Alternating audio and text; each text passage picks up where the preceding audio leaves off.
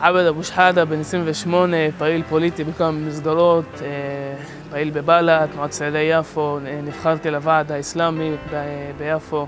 אני בזמן הפנוי אוהב לשחק שחמט, אבל בעיקר ללמד ילדים שחמט, במיוחד מהחברה הערבית. לדעתי המשחק הזה משמש ככלי לפתירת בעיות ולפיתוח יכולות קוגנטיביות מרחיקות לכת, דברים שאנחנו צריכים.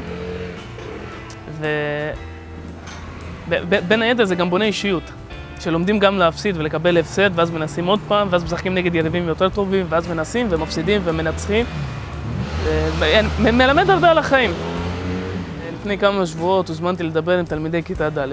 זה בית ספר מעורב באזור המרכז, ויש בו תל- תלמידים ותלמידות ער- ערבים ויהודים. והייתי צריך לדבר איתם על דברים ממש בסיסיים, למה גזענות זה לא טוב. ואז תוך כדי הדוגמאות האישיות הילדים התחילו לדבר והתחילו לשתף. אה, זה אחד הרגעים הכי מזעזעים שהייתי צריך אה, לחוות. כשילדה בכיתה 4 מספרת לי כיצד היס"מ נכנס אליה מהביתה, הרביץ לאבא שלה ואח שלה, משך אותה מהשיער, הרביץ לאחותה, וכמובן כלום לא... אין, כלום לא השתנה, והיא מספרת את זה כזה עם, שיח, עם צחוק. כאילו היא לא מבינה מה היא עברה.